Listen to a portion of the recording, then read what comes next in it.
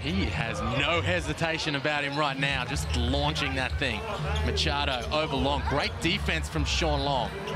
He would have tried to block that and fouled last year. Oliver cleans up the mess. Nothing to do, but just use his raw athleticism to find a way to get a shot. Oh, what a play from Machado.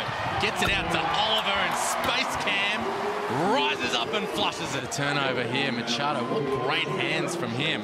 Top 10 in the league in steals as he set up Oliver. But and we know. Ooh, Terrico White with bone bruising. Wow. Here's Cam Oliver throwing down. Here is Oliver, strong attack and met by Barlow. Wow, what a finish from Cam Oliver through the contact. A very good first half as he goes in. That was a hell of a hit he took and an even better finish. Last week and a highlight reel put back dunk there. Noi in and out.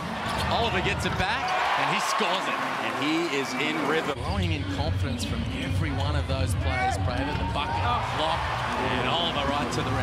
I mean, that's just great defense by Shawn Long, but better offense. There was nothing else he could do. Not happy with Tony Caldwell at all. Machado going to work, finds Oliver, quick up and in.